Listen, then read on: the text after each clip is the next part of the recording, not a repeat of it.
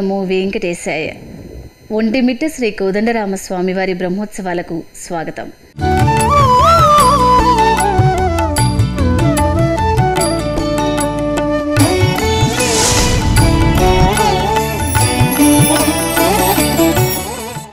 ఒకటే మాట ఒకటే బాణం శ్రీరామచంద్రుడి తత్వం.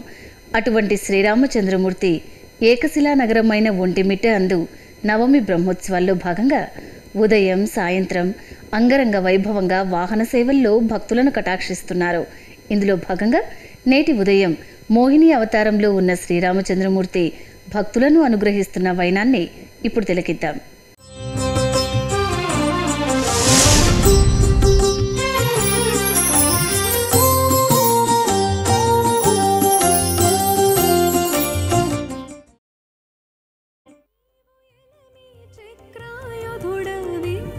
చక్రాయుధుడవిద్దరికీ తగును.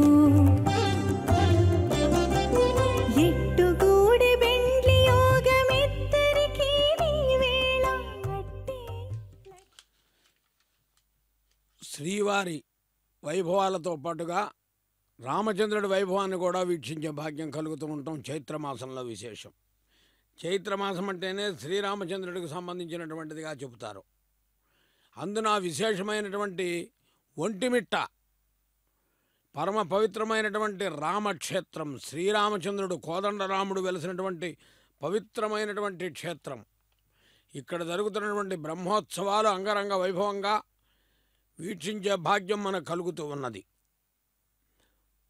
ఒక అవతారం దశావతారాల్లో చెప్పనటువంటి అవతారము క్షీరసాగర మథనములో లభించినటువంటి అమృతాన్ని దేవదానవులకు పంచడానికి గాను స్వామి తనకై తాను ఏర్పాటు చేసుకున్నటువంటి ఒక సుందరమైనటువంటి అవతారం సౌందర్యయుక్తమైనటువంటి అవతారం మోహిని అవతారం సమ్మోహితులను చేసేటటువంటి అవతారం. అలాంటి అలంకారంలో శ్రీరామచంద్రుడు అసలే రామచంద్రుడు పుంసామోహన రూపాయ పుణ్యశ్లోకాయ మంగళమని చెప్పుకుంటాం మంగళాశాసనంలో. ఆయన చూస్తేనే చాలా సుందరమైనటువంటి రూపంతో ఉంటాడు. నల్లని వాడు పద్మనయనంబుల వాడు పలువిల్లు మూపునను కలుగువాడు అని రామచంద్రుడు యొక్క రూపం చాలా సుందరంగా ఉంటుంది. అలాంటి రామచంద్రుడు మోహిని అవతారంలో దర్శనమిస్తున్నాడంటే చాలా విశేషమైనటువంటిది. ఎందుకంటే ఇది ఎలా ఉంటుందంటే ఒక రుచిని మనం అనుకుంటే చెరుకు రసంలో పంచదారను కలిపి అందులో తేనెని పోసి రంగరించి ఆ పదార్థాన్ని లోపలికి తీసుకుంటే ఎంత తీయగా మధురంగా ఉంటుందో ఈ అవతారం కూడా అలాగే ఉంటుంది. రామచంద్రుడు అంటేనే ముగ్ధమోహన సౌందర్యుడు పుంసామోహన రూపాయ పుణ్య శ్లోకాయ మంగళ పురుషులకే మోహాన్ని కలిగించేవాడు. మరి ఆయనే మోహిని అవతారంలో వచ్చాడంటే ఇది చాలా విశేషం. ఒంటిమిట్టలో జరుగుతున్న బ్రహ్మోత్సవాలలో ఈ అవతారానికి ఒక ప్రత్యేకత. నిజంగా కనుక జానకీదేవి ఈ అవతారంలో రామచంద్రుడిని చూచుంటే ఎంత ఆనందపడేదో. మరి ఈ అవతారంలో రామచంద్రుడిని మనం చూస్తున్నామంటే ఇది మన పుణ్య సుకృతం. అందుకనే ఒక వైభవాన్ని మనం అనుకోవచ్చు. నడుములు వీగియాడ చిరునవ్వులు నివ్వటి లంగా హారములు సుడివడి మేఘలల్ వదల దుడ్కి మెరుంగులు పర్వఘర్మముల్. పొడమ గురుల్ చెల్లింప శృతిభూషణముల్ మెరువన్ సకృష్ణులై పడతుగల ఆడుచుండిగల అని ఆ రూపము ఆ స్వరూపము ఆ ఆనందము ఎలా ఉందంటే కవి వర్ణనలో మనం అనుకోవచ్చు. పున్నాగ కానవే పున్నాగ వందితున్ తిలకంబ కానవే తిలక నిడల ఘనసార కానవే ఘనసార శోభితున్ బంధూక కానవే బంధుమిత్రు మన్మథ కానవే మన్మథాకారుని. నవమన్మథుడు అతి సుందరుడు అలాంటి మహానుభావుడు. మోహిని అవతారం అంటే సామాన్యమా? ఏదో అమృతాన్ని పొందడానికని మనం అనుకుంటాం కానీ ఒక్కసారి సమ్మోహనాస్త్రానికి ప్రయోగిస్తే అందరూ ఎట్లా సమ్మోహితులవుతారో.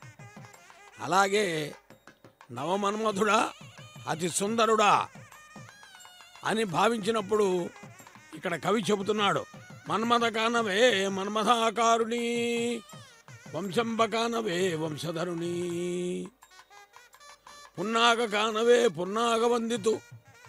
చూడండి ఎలా ఉన్నాడో చేతుల అమృతం. ఆ కూర్చున్నటువంటి భంగిమ. ఆ తీరు ఆ విధానము ఆ సోయగము ఆ సౌరభము ఆ వైభవము ఆ వైశిష్యము ఆ కదలిక ఆ నడక ఆ కులుకు ఆ బెళుకు ఆ వైభవము ఆ నవ్వు ఆ చిరునవ్వు ఆ సోయగము ఆ సౌందర్యము. ఇవన్నీ నిజంగా రామచంద్రుడు మోహిని అవతారంలో ఒంటిమిట్టలో బ్రహ్మోత్సవాల్లో దర్శనమిస్తుంటే నిజంగా అమృతం తాగిన ఆనందం కలుగుతోంది మనకి. ఒక చక్కటి సంకీర్తన విన్నప్పుడు మనస్సు ఎలా ఆహ్లాదం కలుగుతుందో శ్రవణానంద భరితంగా అలాగే స్వామిని చూచినప్పుడు ఇది ఎంత అదృష్టం అండి రామచంద్రుని చూచినప్పుడే మనస్సు ఎటో వెళ్ళి ఆనందపడతాం. అలాంటిది రామచంద్రుడు మోహిని అవతారంలో ఉంటే ఇక ఒకటే అనుకోవాలి ఎటో వెళ్ళిపోతోంది మనస్సు అని.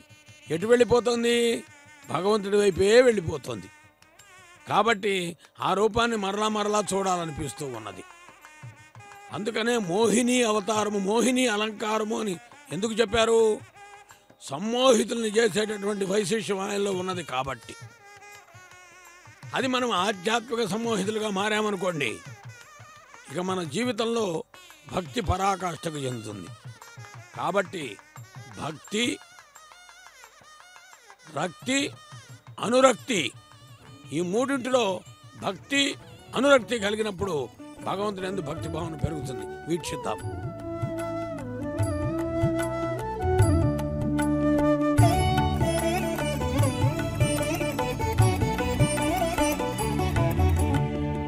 ఇందులోనే కానవద్దా ఇతడు దైవమని. ఇందులోనే కానవద్దా ఇతడు దైవమని విందువలె పొంటి మెట్ట వీర రఘురాముని ఇందులోనే కానవద్దా ఇతడు దైవమని విందువలె పొంటి మెట్ట వీర రఘురాముని ఇందులోనే కానవద్దా ఇతడు దైవమని ఈ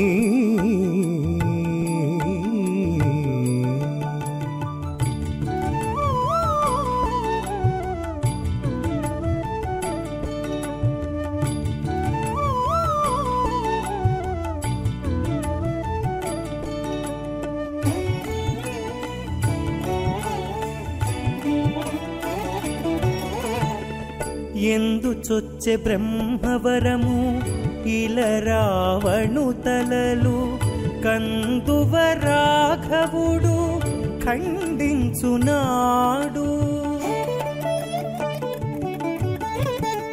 ఎందు చొచ్చే బ్రహ్మవరము ఇల రావణు తలలు. కందువ రాఘవుడు ఖండించునాడు ముందట జలధియే మూల చొచ్చే కొండలచే గొందిబడ కట్టివేసి కోపగించేనాడు ఇందులోనే కానవద్దా ఇతడు దైవమని విందువలె పొంటి మెట్ట వీర రఘురాముని ఇందులోనే కానవద్దా ఇతడు దైవమని. ఈ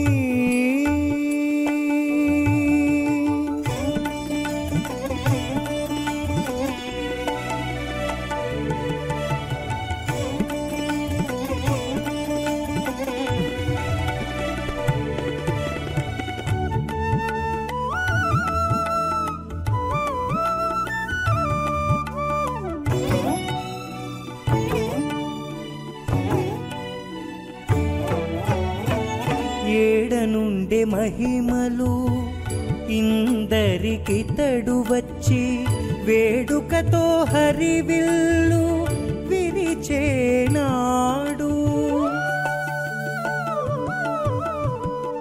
ఏడనుండే మహిమలు ఇందరికితడు వచ్చి వేడుకతో హరివిల్లు విరిచేనాడు.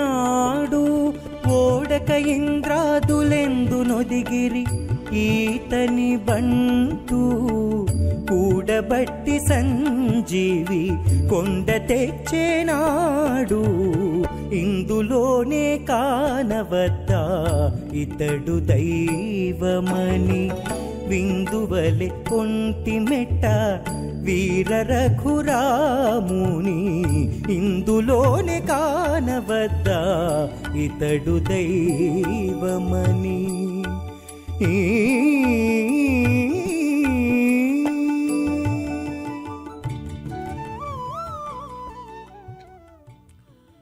ఒంటిపిట్టలో జరుగుతున్నటువంటి బ్రహ్మోత్సవాలలో స్వామివారు ఒక్కొక్క అలంకారంలో ఒక్కొక్క దర్శన భాగ్యాన్ని ఇస్తూ ఉన్నారు. అందరినీ ఆధ్యాత్మిక సమ్మోహితులు చేస్తాడా? భక్తి సమ్మోహితులు చేస్తాడా? లేకపోతే మోహనాంగుడై విరాజిల్లుతాడా? అని భావించినప్పుడు ఎలా భావించుకుంటే భావం తద్భావతేనే అలా దర్శనమిస్తాడు స్వామి. ఆ కోలాటం చేసేవాళ్ళు కూడా భక్తి సమ్మోహితులై ఆ అవతారాన్ని చూచిన తర్వాత ఆనందంతో కోలాటం చేస్తున్నారు. అందుకనే శ్రీ మహావిష్ణువుని రకరకాలుగా రామావతారంలో కూడా చెప్తారు. కృష్ణావతారంలో చెప్తారు. వెంకటేశ్వర అవతారంలో చెప్తారు. కానీ ఒకటే మనము ఈ దశావతారాల్లో చెప్పనటువంటి అవతారము కేవలం అమృతాన్ని పంచడానికి ఆవిర్భవించినటువంటి అవతారము. దేవతలను కాపాడటానికి దానవులకు ఏదో ఒకటి చేసి దేవతలకేమో అమృతాన్ని పంచుతున్నాడు. దానవుల వైపు రాక్షసుల వైపు చిరునవ్వులు పంచుతూ ఉన్నాడు. ఆ నవ్వులకే సమ్మోహితులైపోతున్నారు. ఆ చూపులకే సమ్మోహితులైపోతున్నారు రాక్షసులు. అందుకనే ఇందీవరస్యాము వందిత సూత్రాము కరుణాలవాల భాసుర కపోలు కౌస్తుభాలంకారు కామిత మందారు సురుచిరలావణ్యు సురుచరణ్యు హర్యక్షు నిమజ్జు అఖిల లోకారాజ్యు ఘనచక్రహస్తు జగత్ప్రశస్తు కకకులాదిపయాను కౌశేయ పరిధాను పన్నగసేను అబ్జాతనయను. మకర కుండల సద్భూషు మంజుభాషు. నిరుపమాకారు దుగ్ధ సాగరు విహారు భూరి గుణసాంద్రు యదుకులాంబోధి చంద్రు. విష్ణు రోచిష్టు సహిష్టు కృష్ణు. పోతన గారు భాగవతంలో చెప్తాడు. భాగవతంలో పోతన గారు ఈ విశేషమైనటువంటి మోహిని అవతారాన్ని ఎంతో చక్కగా అందించాడు. అంటే ఒక సమ్మోహ సమ్మోహితులు అవ్వాలంటే ఏదో ఒక ఇది ఉండాలి. మరి బలవంతులు దుర్బల జాతిని బానిసలు కావించారనే భావన కలిగట్టుగా రాక్షసులంతా ఏకమై దేవతల్ని బాగా ఇబ్బంది పెట్టి దునుమాడి ఆ అమృతమంతా తీసుకెళ్ళి వాళ్ళే తాగేస్తే వాళ్ళది అసలే రాక్షసులు. వారు ఇంకా విజృంభిస్తే చాలా విపరీతమవుతుందనే భావనతో సాక్షాత్తుగా శ్రీ మహావిష్ణువు ఈ మోహిని అవతారంలో వచ్చాడని క్షీరసాగర మథన సందర్భంలో చక్కగా మనం అనుకోవడానికి అవకాశం ఉన్నది.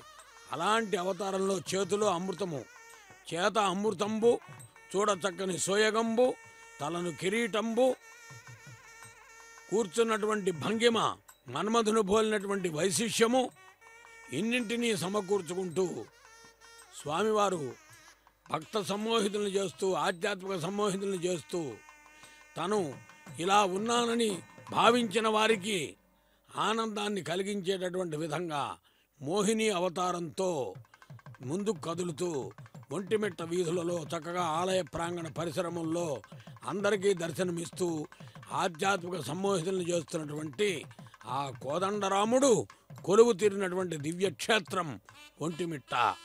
మనం చూచేటటువంటి భాగ్యం శ్రీ వెంకటేశ్వర భక్తి ఛానల్ సభక్తిపూర్వక ప్రసారం ద్వారా వాహన సేవలన్నీ వీక్షిస్తూ ఉన్నాం. అలాంటి మోహిని అలంకారంతో స్వామి వస్తున్నారు. నమస్కరించుకుందాం.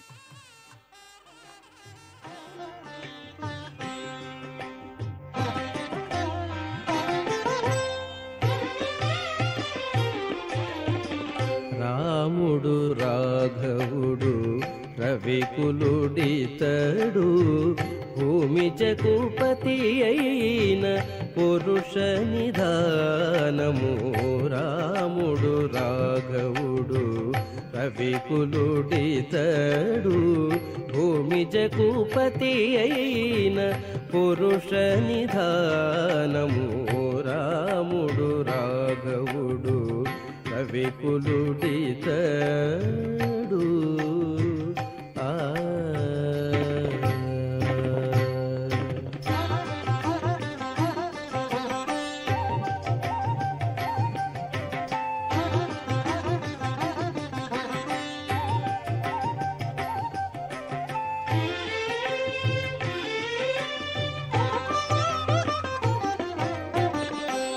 రాయపుత్ర కామేష్టి ఎందు పరమాన్నమున పరగజనించిన పరబ్రహ్మము.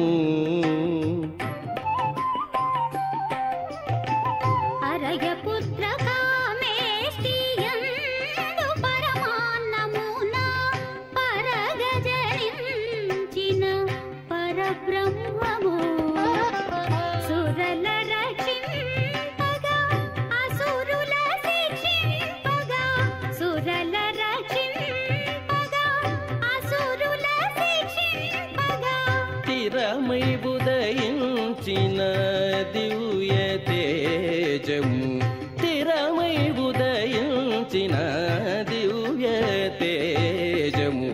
రాముడు రాఘవుడు రవికులుడితడు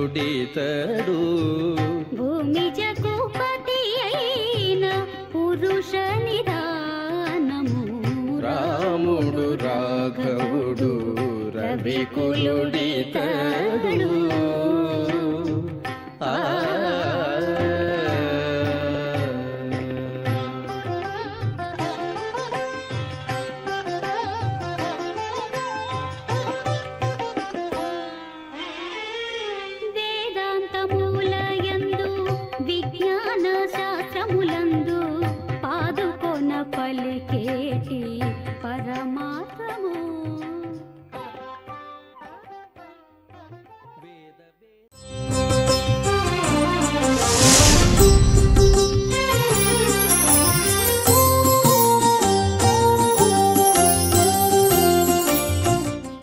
చూశారుగా? ఒంటిమిట్ట శ్రీరామచంద్రమూర్తి మోహిని అవతార వాహన వైశిష్ట్యాన్ని మరొక వాహన సేవలో మళ్ళీ కలుద్దాం. ఓం నమో వెంకటేశాయ.